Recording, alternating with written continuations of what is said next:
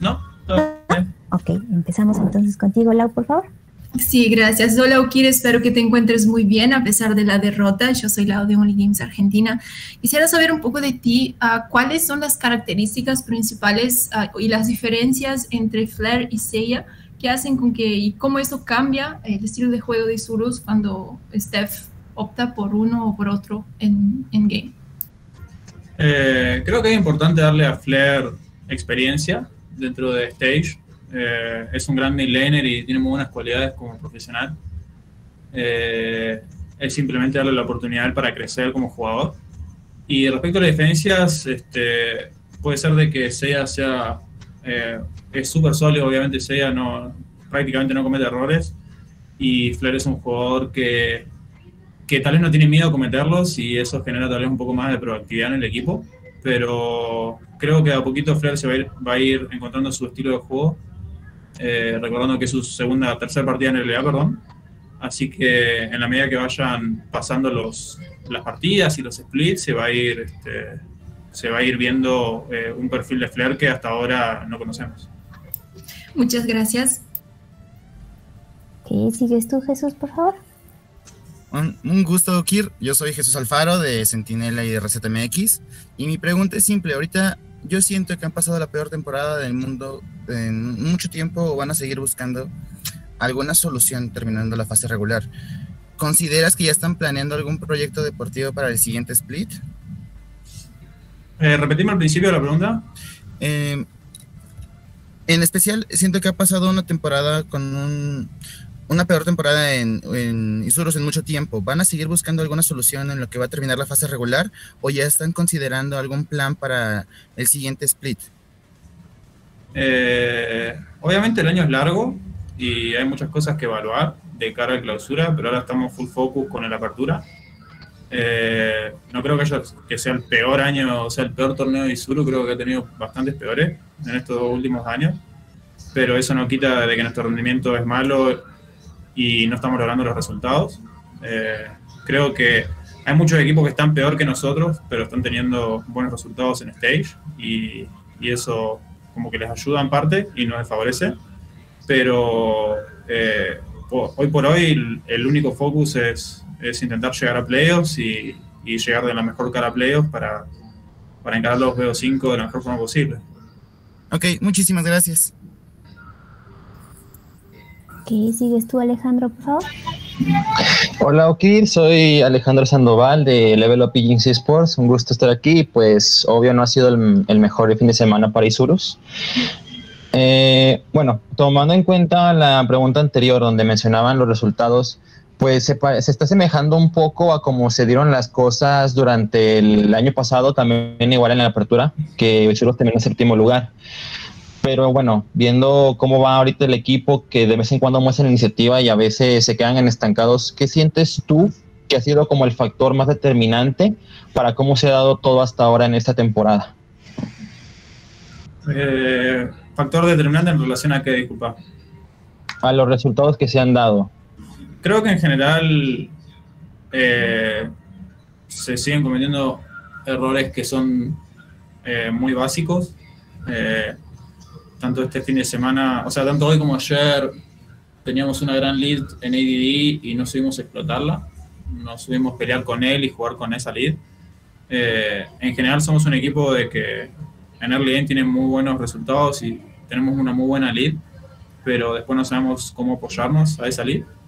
Pero eso es solamente este fin de semana, pero han habido fines de semana donde los errores han sido otros o un índole muy similar donde no se juegan las win conditions que están dadas del draft o, al game plan o, lo que sea. Eh, pero creo que en general el, principal problema que estamos teniendo es que, es que estamos cometiendo errores como muy básicos. Este, y en Screams tal vez no lo cometemos y en Stage sí, y eso es lo que nos termina afectando mucho porque realísticamente hablando no nos va mal en Screams. Este, eh, o sea, los errores que cometemos en stage no los cometemos en screens, entonces es un tema de, performance eh, en, stage. Vale, muchas gracias por la respuesta y pues esperemos que la próxima semana sea mejor para buscar el pase de los playoffs. Vale, gracias. Ok, sigues tú, Misa, por favor. Hola, hola, ¿se escucha bien? Sí. Perfecto. Buenas tardes, ¿cómo están? Un gusto, Kir. Soy Miso de Sons of KS. Bueno, la pregunta para ti es la siguiente. Sé que va a sonar un poco picante, pero es con la mejor de las intenciones. Eh, nosotros, los fanáticos, siempre hemos visto o hemos visto en los últimos años un Isurus bastante fuerte, un Isurus que la ha dado toda y que de verdad ha hecho un excelente trabajo. Sin embargo, en este split, como que se siente un poco que se ha perdido un poquito la identidad de Isurus, la identidad real, la identidad que conocemos y que tanto nos gusta. Quiero que quizás me cuentes eh, cuál sientes que es el principal problema. Ya nos comentaste un poco sobre los errores básicos que se suelen cometer en eh, stage y no en screens, ¿sí? Dentro de estos errores básicos, ¿cuál crees que es el que más afecta? Ok, es una pregunta de dos partes igual, porque eh, primero, primero creo que el Isurus que, que todos queremos, eh, incluyéndome como fan de Isurus, no es el que ha sido en estos últimos cinco temporadas, creo, inclu- incluida esta. Isurus era un equipo donde tenía un 99% de chances de, de llegar a la final y lo demostraba en Stage, lo demostraba en resultados y, era esa la mística que tenía el equipo. Entonces creo que es una mística que se ha perdido hace ya tiempo y se está intentando reestructurar desde, desde adentro de Isurus y, y como equipo también. Eh, entonces, en, en- en ese sentido no creo que ha sido, o sea, obviamente todos los cambios son difíciles y, y se, se va a intentar lograr eso y ese es el objetivo, devolver ese 99% de chances de, de ser lo que es. Eh, y la segunda parte, o sea, son, son varias cosas, ¿no? Son, son, son muchas cosas que, que marcan la diferencia eh, de, cómo, de cómo transmitir una lead y cómo jugar alrededor de una lead. Eh, y que en general tiene que ver con la toma de decisiones en el mapa. Eh, pero sería creo que básicamente eso. En general, los, los errores básicos son de toma de decisiones, no de, no de que se están midiendo mal o cosas técnicas de los jugadores individualmente, porque no, no ese es el, el factor. Son jugadores muy buenos, todos individualmente, están a nivel de cualquiera. Creo que lo demuestran fin de semana fin de semana y están acá sacrificando y esforzándose un montón, como todos. Este, simplemente que a la hora de, de tomar las decisiones se opta por la que no nos favorece. Ok, perfecto, muchas gracias y de verdad esperamos que pues bueno, Isurus retome el camino, lo merecen. ¿Sigues tú, Facundo? Buenas, Ugir, soy Facundo Domínguez.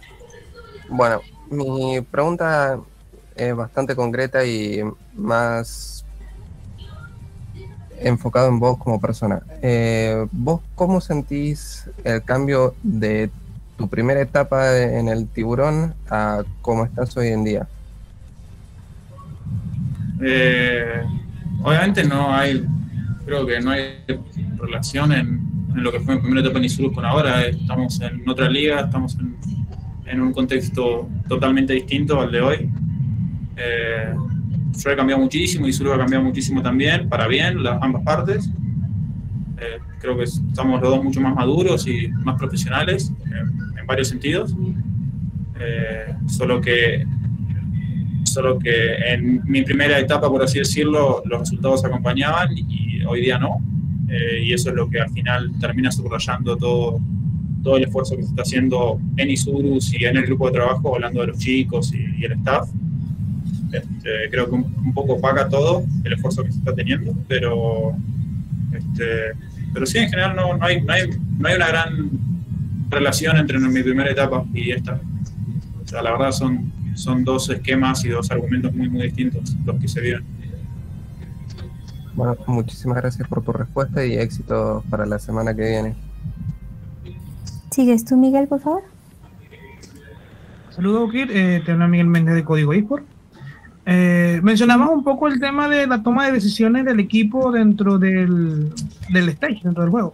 Entonces quería entender un poco cómo ves tú el, el, tema de la comunicación dentro del equipo y cómo está el tema de voces de mando eh, a la hora de ejecutar la jugada.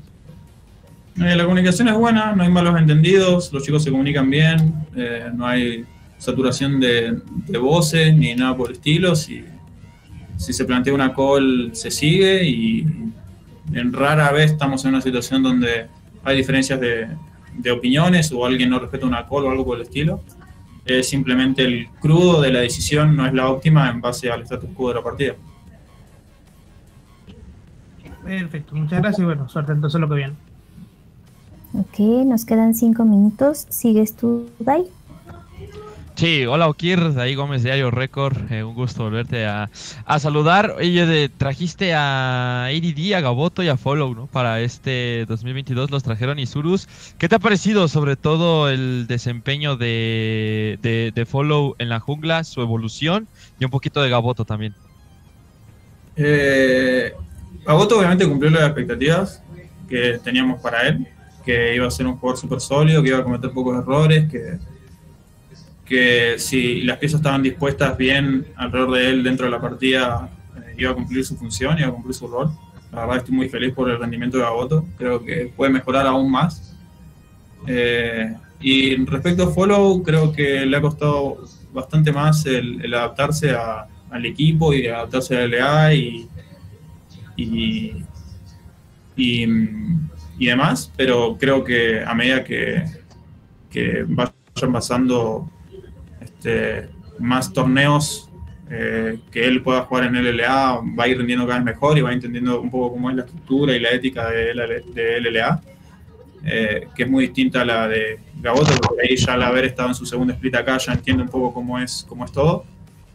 Este, creo que todos necesitamos un periodo de adaptación y, y, y nada, y Folo estaba en, en- en un proceso de, de aprendizaje muy grande donde tiene que ser súper autocrítico y, y súper perceptivo para, a la hora de entender cuáles son los, los errores que puede llegar a estar cometiendo o los errores que el equipo este, comete que necesita de él para, para que dejen de suceder, por así decirlo. Ok, perfecto, Kir. Muchas gracias. Buena semana. ¿Sigues tú, Jona? Hola Will, ¿qué tal? Acá Juana de Prensa ISP, un abrazo compañero. Eh, quería saber un poco cómo has visto el, el entendimiento del roster con el que estás trabajando ahora en función de las instrucciones que le da o del trabajo que tú tienes con ellos. En el fondo, si eh, crees que lo que tú les transmites, ellos lo están entendiendo a cabalidad, que quizás les falta un poco más. ¿Cómo estás viendo eso por un lado? Y por el otro, saber, independiente de que comentaste que Flair necesitaba y necesita, digamos, tener experiencia jugando en stage, de repente no hubiera sido mejor jugar con Seiya justo en este encuentro en particular que era súper decisivo, digamos, mirando la situación de la tabla. Eh, respecto a la segunda pregunta, te a pedir que me repita después la primera. Eh, eh, creo que todos los puntos son decisivos, necesitamos todos los puntos posibles, ya sea con Seiya o con Flair. El equipo estuvo, está entrenando muchísimo con Flair. Este, creo que ha jugado un 30 o un 40% de los scrims. Esta semana ha jugado mucho más, porque lo decimos a principio de semana de que, iba, de que él quería rendir contra Extend. Eh, creo que independientemente del jugador que haya estado hoy, si es Seiya o, o Flair, el, eh, el resultado probablemente hubiese sido el mismo, ya que no es responsabilidad ni de Seiya ni de Flair los resultados que estamos teniendo, es un tema más de, de conjunción del equipo. Y te molesto con la primera pregunta. Sí, no, la primera parte de la pregunta era si mm, sentías que en el fondo los jugadores con los que estás trabajando entienden bien lo que tú quieres transmitirle a la hora de los entrenamientos. Eh, básicamente, Sí. básicamente eso. Sí, o sea, te, te repito, o sea, repito lo que comenté antes, creo que, que, que en los entrenamientos no va súper bien y simplemente en stage eh, no lo es así. Entonces, eh, creo que creo que estamos todos muy, muy conectados en términos de, de, cuáles son los errores que se cometen y, y, qué tenemos que hacer para resolverlos, pero eh, también es medio difícil eh, tener muy buenos resultados en screens los días de semana o tener resultados normales y después llegar a stage y, y que sucedan errores que, que no suceden en screens, entonces tampoco se pueden remarcar. Un poco de lo mismo, creo que hay demasiados, demasiados equipos que están teniendo muy malas semanas de entrenamiento eh, y para nosotros no es el caso. Para nosotros eh, los, lo, que nos está ofuscando son los fines de semana, no los días de semana. Y para muchos equipos es exactamente al revés. Están teniendo muy malos días de entrenamiento y muy buenos fines de semana. Entonces, creo que, creo que simplemente entender de que eh, si bien esta situación hoy día como equipo es mala, no significa que estén eh, peor que las de los demás, simplemente que no hemos podido recabar los puntos que necesitamos, pero estamos muy, muy eh, positivos a la hora de, entender de que playoffs está al alcance de nuestra mano y es muy posible que lleguemos a playoffs y todavía tenemos tiempo para, para, para terminar de entendernos y terminar de hacer clicking game y, y, poder cerrar las partidas que se nos escapan, porque realísticamente hablando hemos sacado leads la mayoría de los juegos que hemos jugado, creo, eh, eh, y simplemente no, no, no, no sabemos cómo trabajar con esa lead. Listo, Uki. Gracias por la respuesta. Éxito la próxima semana. Gracias, Pau. Perfecto, Uki. Esas son todas las preguntas. De nuevo, muchas gracias por tu tiempo y éxito para las siguientes partidas. Vale, chicos, muchas gracias.